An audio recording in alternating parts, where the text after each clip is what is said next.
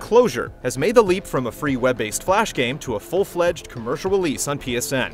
Its artistic integrity is intact, but will what was once free inspire you to drop some cash?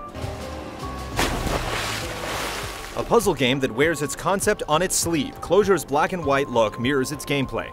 What is illuminated actually exists in the physical sense. What lay in darkness does not, including the ground, with falling to your death being the number one reason you'll restart a stage. Ferrying around glowing bulbs and positioning spotlights to avoid the void is paramount as you search for doors, keys, and the occasional hidden moth. In no time, you'll be educated on the use of negative space as makeshift light shafts become elevators. Despite a few interesting wrinkles like no drop zones where you can't put down objects or dealing with the buoyancy of water, Closure starts to feel rapidly familiar. That said, there are plenty of head scratchers that seem like an unanswerable Zen koan, so it's a relief that Closure's hub structure allows you to tackle other diversions when you're stumped or stymied. There are scores of puzzles and a handful of avatars, each with unique animations, levels, and gameplay twists. Illuminating a rogue corner might not reveal answers, but still might uncover a unique piece of art, which adds a layer of sensory exploration. Likewise, the music is evocative and grand, painting in the color the visuals lack.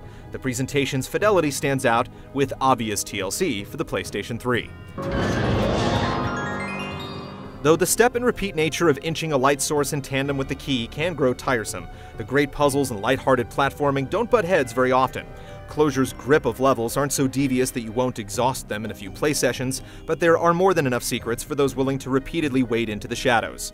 Puzzle aficionados who like their eureka moments mixed with a splash of action will devour this shadowy gem.